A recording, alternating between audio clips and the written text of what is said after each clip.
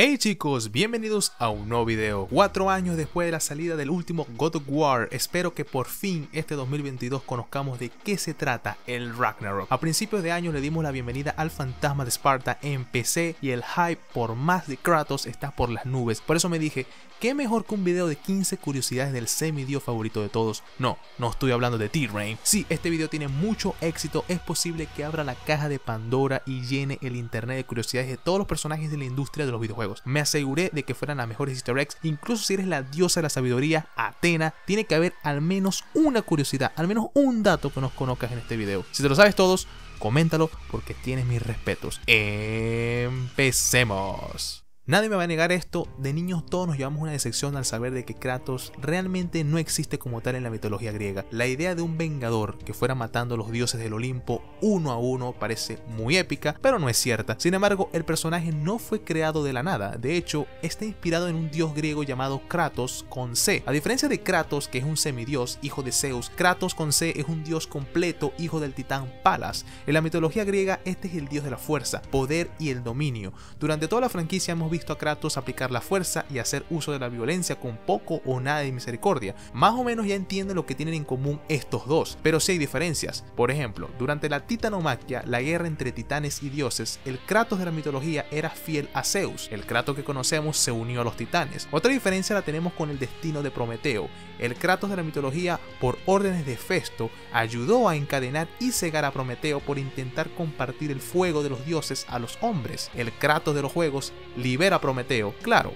a su manera. El Kratos que conocemos hoy por hoy es sumamente distinto al que se tenía pensado en los primeros meses de desarrollo. Todo el mundo ya sabe que sus tatuajes iban a ser azules, pero eso es quizás uno de los cambios más pequeños si los comparamos al resto. Muchos diseños fueron considerados previo a la salida del primer juego en 2005. Hay algunos diseños incluso en los que el personaje tenía un cabello largo con dreadlocks, un diseño totalmente diferente a la calva que el personaje carga con orgullo desde hace más de 15 años. Pero probablemente uno de los cambios que seguro lo hubiera cambiado todo es su diseño donde este carga a un bebé en su espalda. Es decir, el concepto de Death Stranding pudo haberse llevado a cabo en el PlayStation 2. Desea quien haya sido la idea, de seguro le conmueve ver las escenas del nuevo juego donde Kratos por fin experimenta la paternidad. Kratos y Hércules tienen muchas más cosas en común que lo que crees. Incluso me atrevo a decir que este era el dios que se tenía en mente cuando se hizo a Kratos. Les voy a contar un par de datos de la vida del semidios y ustedes saquen sus propias conclusiones. Heracles, mejor conocido con su nombre romanizado Hércules, es hijo del dios Zeus y la humana Este era odiado por su madrastra Hera, esposa y hermana de Zeus, quien envenenó la mente de Hércules haciéndolo matar a su esposa, hijos e incluso dos de sus sobrinos. Este trágico evento hizo que Hércules se alejara de la sociedad. Un tiempo después fue convencido de ir al oráculo de Delfos para que se le asignara una penitencia por sus actos. 12 trabajos se le fueron asignados al semidios para redimirse, entre los que podemos destacar matar a la hidra de Lerna, matar al león de Nemea e incluso limpiar los establos de Augias. Luego de morir, Zeus le concedió la divinidad y ahora era un dios completo, formando parte del Olimpo. En la mitología nórdica no existe los semidioses, solo dioses, por tanto, como tal se le considera a Kratos allá en Midgard un dios completo. Así que sí tienen eso en común ahora con Hércules que después de la muerte se hizo un dios. Ambos mataron hidras, ambos mataron leones, a sus familias, camino de redención. Básicamente son lo mismo. ¿Puedo? ¡Abrázame, hermano!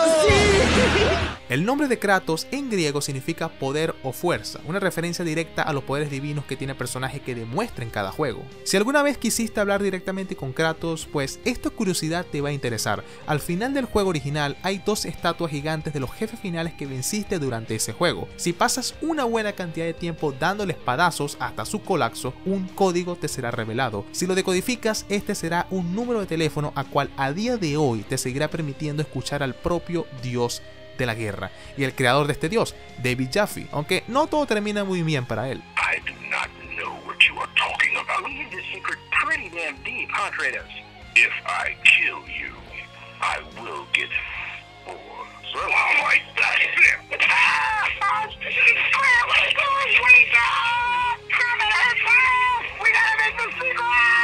Como no puede ser de otra forma, hagamos un pequeño recuento de datos relacionados con su aspecto. Su piel pálida realmente no es su color de piel real, sino las cenizas de su familia asesinada. Un oráculo lo maldijo y ahora debe llevar con estas cenizas pegadas a la piel para la eternidad. Su tatuaje fue hecho en honor a su hermano Deimos, el cual él consideraba muerto. Originalmente iban a ser de color azul sus tatuajes, pero para evitar semejanza con el bárbaro de Diablo 2 decidieron cambiarlo a último minuto. Su cicatriz en el abdomen se debe a 1. el espadazo que le dio Zeus en el segundo juego y 2. el espadazo que se dio él mismo en el tercero. Espada que podemos ver cómo lo atraviesa y esta cicatriz en su espalda de hecho la tiene el Kratos de los juegos nuevos. La cicatriz en su ojo se le hizo el propio dios Ares al momento de secuestrar a su hermano Deimos. Este evento lo vemos durante God of War Ghost of Sparta. Para mucha gente incluso hoy sigue siendo una duda cómo Kratos llegó hasta las tierras nórdicas. Como suele pasar con muchas franquicias, esto se explica en otros medios. En este caso, la novelización del juego de 2018 arroja luz al espacio entre ambos juegos. Primero fue revelado que Kratos se intentó matar otra vez luego del final de God of War 3, pero fue imposible debido a una maldición por los dioses griegos que lo prevenían de acabar con su propia vida. Luego, este también intentó deshacerse de las espadas del caos y aunque fue capaz de removerlas de su cuerpo, este no pudo dejarlas atrás completamente. De igual manera, condenado a llevarlas consigo. Y la duda del millón de dólares,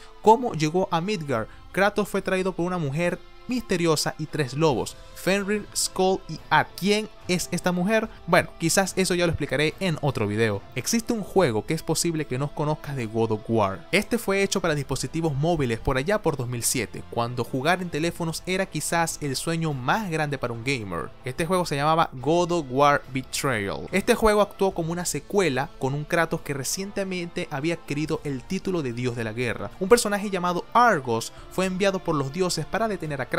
Luego de varios enfrentamientos, un misterioso asesino acabó con la vida de Argos y todo el mundo le echó la culpa a Kratos. El dios de la guerra busca limpiar su nombre, pero este solo complica más las relaciones entre Kratos y los dioses. De hecho, este juego es necesario tomarlo en cuenta para entender por qué la relación entre él y el Olimpo era tan tensa. El juego recibió muy buenas críticas por considerarse fiel a las franquicias y sus mecánicas. Es bien conocido que en la mitología Zeus fue uno de los dioses más lujuriosos teniendo hijos a diestra y siniestra. Su hijo Kratos no le perdió la pista. El dios de la guerra era bien conocido en los juegos pasados por tener varios encuentros subidos de tonos con muchísimas mujeres. El juego de Ghost of Sparta se le pudo contar 8. En God of War 3 bajó su número a solo 1, obviamente con una diosa del calibre de Afrodita. Y para el último juego, hasta la fecha, God of War de 2018, el primer juego con ninguna. Aunque muy bien pudo haber tenido algo con Freya, pero bueno, los tiempos cambian, no tuvo esa suerte. Kratos ha cambiado de estatura durante los juegos radicalmente. Cuando se encontró con su hermano Hércules, se decía que tenía alrededor de 2 metros y medio. Santa Mónica luego reveló que en el juego la medida era 1,90 metros, pero en los cómics casi los 2,30 metros. Por tanto, lo mejor es que digamos que es muy alto. El ciclo del patricidio atormenta a Kratos. Así como Kratos mató a su padre Zeus, quien a su vez mató a su padre Cronos, quien también mató a su padre Urano, no es poca cosa que esto atormente al dios de la guerra. Aún a pesar de todo el dolor que le causó su propio padre, Kratos se arrepiente de haberlo matado, dado que la venganza no hizo más que causarle un gran vacío. Durante su visita a Helheim, el reino tortura a Kratos haciéndolo revivir el final de God of War 3 una y otra vez. Ojalá el ciclo se haya cerrado con Kratos. El director del spin-off de Ghost of Sparta dijo que una versión femenina de Kratos era aclamada por los fans. Esta versión se consideró e incluso se hicieron bocetos de ella, la cual debo censurar para evitar la desmonetización de este video.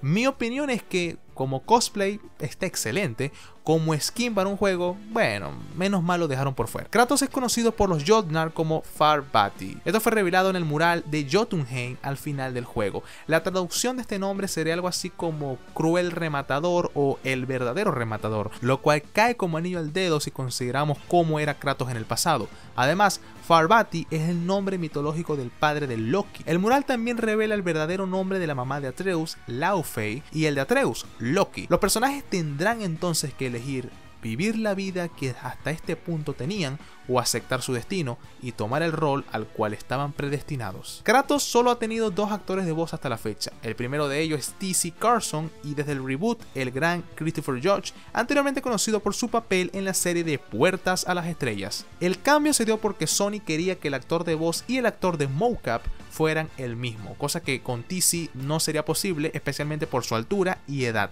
Algo que hizo que se me dibujara una gran sonrisa cuando conocí que ambos actores habían hecho de Kratos era saber que cuando un racista se enterara de esto, se le iba a zafar un tornillo. El gran Kratos ha tenido apariciones fuera de la saga God of War, me atrevo a decir que la más famosa de ella en Mortal Kombat de 2011, pero también tuvo apariciones en Soul Calibur, también tuvo una aparición en el juego de los Simpsons, Little Bit Planet, Everybody's Golf, PlayStation All Stars y la más reciente en Fortnite. Y bueno chicos, hasta aquí el video. Recuerden, si veo una buena receptividad, vamos a abrir la caja de Pandora chicos.